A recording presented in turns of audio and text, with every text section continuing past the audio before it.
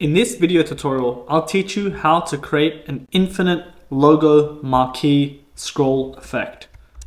So in this example website, pmreconference.com, you can see when we scroll down to the hero section, we have a 2023 partners section featuring a bunch of logos that rotate in a marquee like fashion and also rotates in an infinite scroll, in a perfect infinite scroll. So obviously I'm not gonna make you guys sit here for two minutes or whatever it is before it ends the loop, but just keep in mind that's what's happening. Another example would be in the actual Webflow. Just gotta refresh the page. You can see that Webflow even has this logo scroll effect. And lastly, we have blazetransit.com. We can also see that there's an infinite marquee scroll effect. So let's go ahead and do this in Webflow. Right now, I just have a dummy project set up. I have a checkout eCorp sponsor section, and I want the logo to essentially move right below here. So the first thing I'm gonna do is I'm gonna go ahead and go into my design software. Right now I'm using Sketch. You could be using whatever you want, Canva, Photoshop, Figma, etc. And I just have the six logos that I want featured. Uh, we have the Nike, McDonald's, and uh, other popular logos.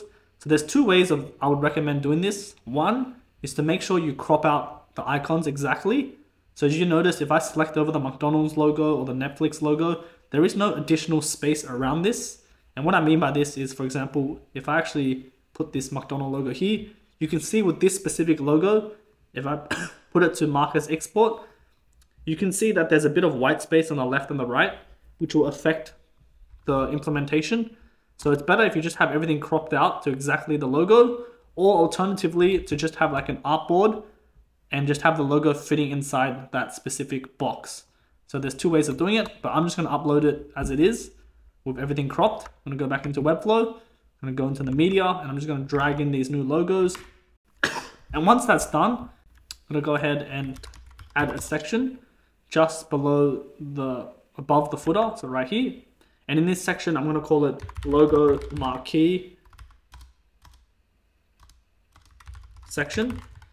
And I'm gonna place a very faint gray color just so we can see what's going on. And I'm gonna go ahead and inside this, gonna add a div block. And in this div block, I'm gonna call it logo marquee move or wrapper.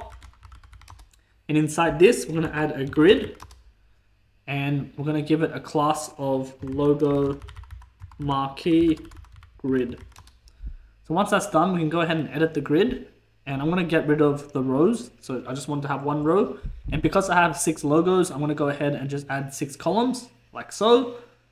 And I'm also gonna go ahead and get rid of the columns. So I'm gonna put zero columns and zero rows. Then with the logo marquee section, I'm gonna go ahead and just add some padding to the top and bottom, maybe like 30 pixels. And then from here, gonna go ahead and add an image inside the grid. And I'm gonna go ahead and give this a class of logo image. And I'm gonna go ahead and just add those images in. So right now, I'm just gonna copy this six times. And I'm gonna go ahead and just add them in. McDonald's, Netflix, uh, Apple, Samsung, and Nike. so once that's all added, what I'm going to do with the grid selected, the logo marquee grid, I'm going to go ahead and just put the alignment in the middle so they're all aligned in the middle. And then with the actual image of the logo, I'm going to go ahead and set a max width. I'm going to put 180 pixels. Um, and I'm going to put a height of, let's just say, 48 pixels. Uh, maybe I'll change the width to 120. That looks good. And you'll notice that these images are appearing stretched, some of them, specifically the Apple and the McDonald's in this case. And what we want to do is just change the fit from fill to contain. That way it's always contained to that specific dimension, 120 by 48. And once that's done, I'm going to go also go ahead and just put the alignment to the middle. So it's justified to the middle. And essentially that is our first layer. What I'm gonna do in this case is just duplicate this grid. There's another one below it because I want essentially this to scroll in a very nice way where it just seamlessly goes into the next section without you even noticing. So in order to do this, I'm going to duplicate the grid. Going to head back to the logo marquee wrapper and apply flex. And that's it. So now going back to the grid, what I want to do is I actually want to make this grid a width of 100 viewport width. And I want to add the min width also to be 100 viewport width. That way it's always going to take 100% of the screen. And if I actually select the logo marquee wrapper, you can see what we're going to be doing. So right here, if I just have margin hovered over and I just put negative margin, you can see what we're actually going to do is we're just going to move this, this div block left and right all the way to the end. And once it reaches the end, we're just going to quickly, like here, once it goes here, we're going to quickly just replace this with a zero. So then it goes perfectly back into position. So let's go ahead and apply this animation. Let's go ahead and go into interactions. We'll go page trigger. We'll go page load. So we want this happen when the page is loaded. We'll click start animation. We'll click new animation. We'll give it a class of low-key logo marquee. And then I'm just going to put in brackets desktop. Hit enter. And then from here, we can go ahead and select our logo marquee wrapper. Hit plus, hit move. I'll go ahead and change this to class. And what we can do here is we can go ahead and change the duration to zero. And we can go ahead and put the move to zero viewport width or even zero percentage. So we'll put 0% and then we'll add an N1 with move and we'll change this to 100%. One sec, maybe not 100%, and we'll change it to negative 100%, sorry. So now if you actually play this, you can see that it's actually moving, but it's moving very, very fast. So we'll give it an appropriate duration of, I'm just gonna put it seven seconds just to test it out. I'm gonna hit save, and then right here, I'm gonna tick this loop, so it just keeps looping that animation. Now if I hit preview, you can see it's gonna be moving, moving, moving, and then once it reaches near the end, right here, it's gonna restart. And you can see you didn't even notice the change. So let's just recap what happened. Right here, it's placed at 0%, and then it's gonna be moving from 0% to negative 100, and it's gonna take seven seconds for that to happen. And as soon as that ends, it's gonna automatically move it back to the default position, which is 0%, and that's how we create that seamless loop. So with this second one selected, I'm now gonna change the duration to something longer, maybe 32 seconds, hit save, and now if I hit preview, it's much more smooth, the animation. So feel free to play around with the timing. But essentially, if we actually look at it on desktop, it is all done. But we also want to make this mobile responsive. So let's go ahead and go to tablet. and in tablet, it's looking okay. So right now it's not that cramped. We can obviously go in and we can actually just change the width to maybe from 120 pixels to 88. And we can change the height from 48 to 42. And you can see everything is, is good in tablet. So you can see it's still working. It's all responsive like so.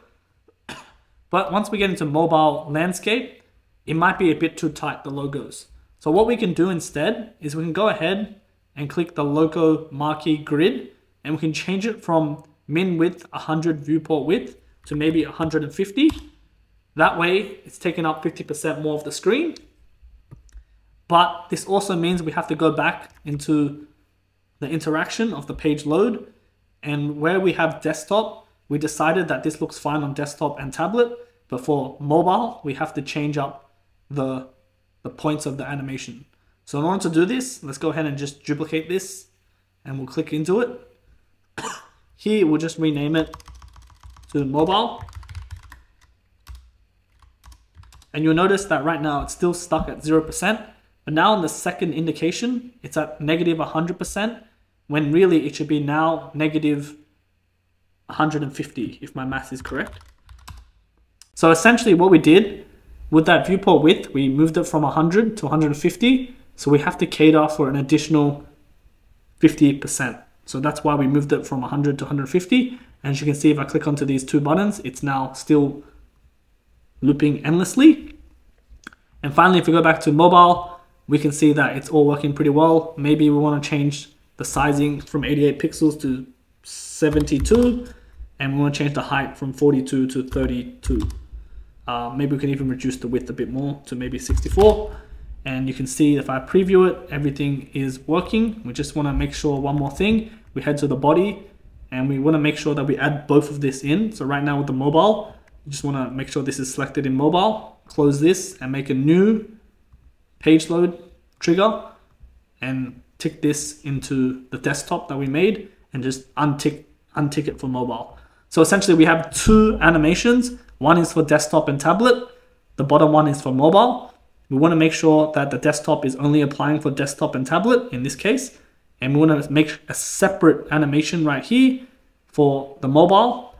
And this one only has mobile landscape and mobile portrait ticked. So you don't want these to overlap, otherwise there'll be a lot of issues. But now if I preview the page, you can see that it's moving across and it is endless looping. So I hope you found this tutorial helpful. Really have a play around with it rather than just taking my numbers like 100% and 150. Just really understand the main principle of what we're trying to achieve here and how it works. Uh, but once that's done, you just want to do one more thing. With this logo marquee section, we want to go ahead and change the width to 100% and want to put overflow to none. That way, there won't be this horizontal scroll bar in desktop. Again, I hope you found this video helpful. I hope you really learned the premise of how this works, and I can't wait to see what you guys create. See you in the next tutorial. Peace.